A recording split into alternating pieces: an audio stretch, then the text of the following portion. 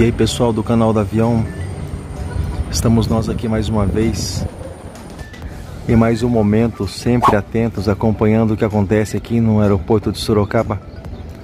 Mais uma decolagem aí para você completa.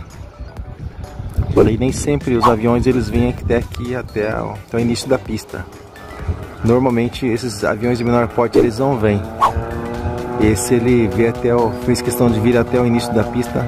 A pista é muito grande. Ele não utiliza a pista toda, claro que não. Até metade da pista mais ou menos ele já levanta voo, mas enfim. É, vamos ver aí mais uma decolagem aí para você diretamente do aeroporto de Sorocaba. Aquecendo os, os motores aí, esse é um bimotor. Aquecendo os motores aí.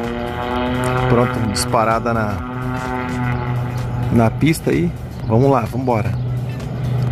Vamos ver essa coisa bonita levantando aí. Olha só. Disparada na pista aí, agora só tirando as rodinhas do chão. E vamos ver o que tem de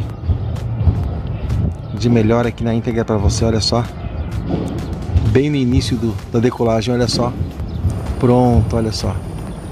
Olha só que imagem bonita essa para você. Somente aí para você do canal do avião nós